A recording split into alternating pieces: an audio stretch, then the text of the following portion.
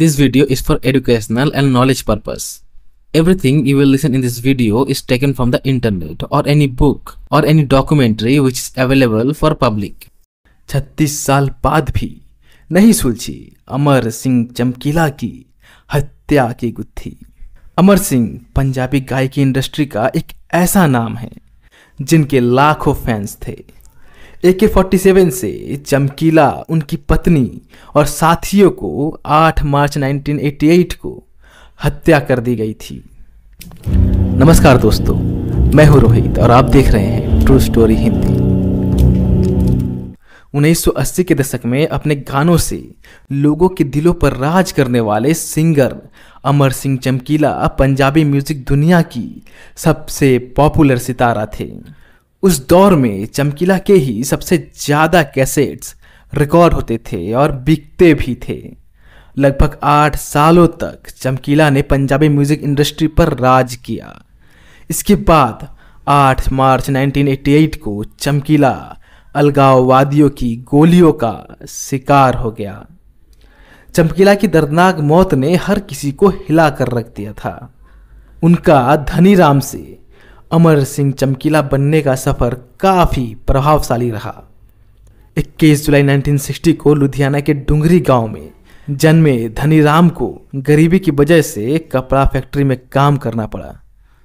7 दिसंबर 1975 को महज 16 साल की उम्र में ही धनी राम की शादी गुरमेल कौर से हो गई थी।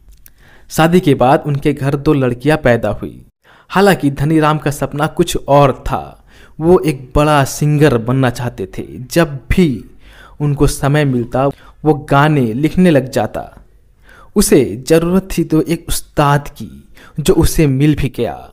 धनीराम के टैलेंट को देखकर उस्ताद ने उसे रख लिया और उसका गाना गाकर उस्ताद भी सुपरहिट हो गया, जिसके बाद खुद के लिखे गानों को धनीराम ने खुद गाना शुरू किया और देखते ही देखते एक सुपर हिट सिंगर बन गया। उनके उस्ताद व गायक सुरिंदर सिंधा ने धनीराम से खुश होकर उनका नाम अमर सिंह चमकीला रख दिया था। 1977 के आसपास चमकीला का लिखा गाना सुरेंद्र सिंधा ने गाया। वह गाना सुपरहिट हो गया। यही से उसकी किस्मत खुलनी शुरू हो गई। फिर 1988 में टकुए ते टकुआ नाम से एक एल्बम आई। चमकीला की पहली एल्बम थी। इस एल्बम ने उन्हें कामयाबी के शिखर पर पहुँचा दिया। उन्होंने इस एल्बम में सुरिंदर सोनिया के साथ गाना गाया था। उस समय एल्बम से ज़्यादा कमाई पंजाब में लगने वाले अखाड़ों से होती थी। तो चमकीला और सुरिंदर सोनिया ने मिलकर अखाड़े लगाने शुरू कर दिए। लेकिन सोनिया उन्हें कम पैसे देती थी, जिस वजह से दोनों की जोड़ी टूट गई। इसके बाद उन्होंने फीमेल सिंगर अमरजोत कौर के साथ गाना शुरू किया और इन दोनों की जोड़ी को पंजाब में खूब पसंद किया जाने लगा। चमकीला नहीं चाहता था कि उनकी जोड़ी टूटे, इसीलिए शादीशुदा होने के बावजूद चमकीला ने अमरजोत कौर से दूसरी शादी कर ली। इन दोनों की जोड़ी ने कई सुपरहिट गाने दिए। अमर सिंह और अमरजोत कौर के गाए गाने वल्गर कैटेगरी में आने लगे, जिसकी वजह से आम युवा तो उनके गानों को पसंद करते थे, लेकिन उनका विरोध भी होना शुरू हो गया। पंजाब के बाकी सिंगर्स का काम लगभग ठप हो चुका था। उस समय पंजाब में अलगाववाद का दौर था। अलगाववादियों ने चमकीला को धमकी दी कि वो अश्लील गाने गाना बंद कर दे, जिसके बाद 1986 में चमकीला ने अलगाववादियों से माफ़ी मांगते हुए इस तरह के गाने से तौबा कर ली, जिसके बाद चमकीला और अमरजोत कौर ने धार्मिक गाने भी गाए। चमकीला का क्रेज ऐसा था कि उनके गाय गानों की वजह से पंजाबी फ़िल्में हिट हो जाती थी।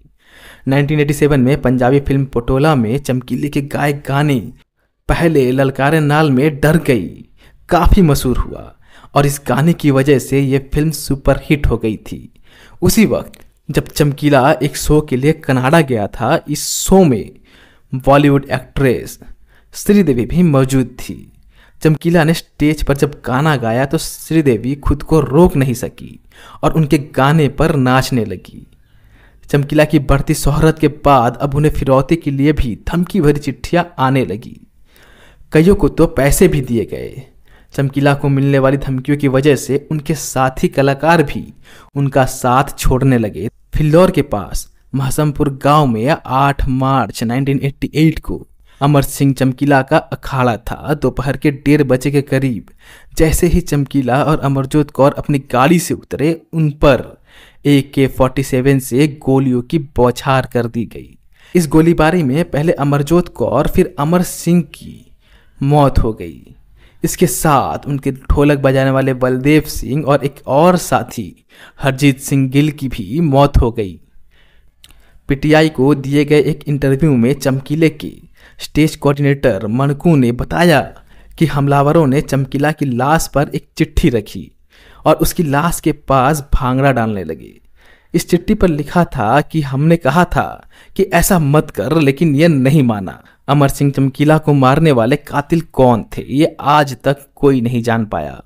पुलिस ने इसे अलगाववादियों की हरकत बताकर केस की तफ्तीश की, लेकिन कुछ हाथ नहीं लगा। हालाँकि चमकीले के कत्ल के पीछे कई थ्योरी हैं। कुछ लोगों का कहना था कि चमकीले को मरवाने के पीछे अमरजोत कौर के घर वालों का हाथ था और वो ऑनर किलिंग का मामला था, क्योंकि चमकीला दलित थे और अमरजोत कौर जट सिख थी।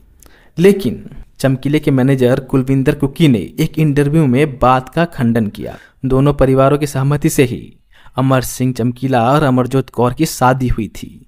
कुछ लोगों का मानना है कि चमकीला को अश्लील गाने से वो अलगाववादी के निशाने पर आ गए। वहीं कुछ लोगों का कहना है कि चमकीला मौत के गायक थे अपना कंपटीशन खत्म करने के लिए, उन्हें मरवा दिया गया। लेकिन आज तक पता नहीं चल पाया कि आखिरकार चमकीला की हत्या किस वजह से की गई थी। यानी कुल मिलाकर ये बात है कि पंजाबी गायकी का ऐसा सितारा, जो ऐसा चमका कि चमकीला हो गया। और आखिरकार गोली की आवाज़ों ने इस गायक की गायकी को हमेशा के लिए खामोश कर दिया।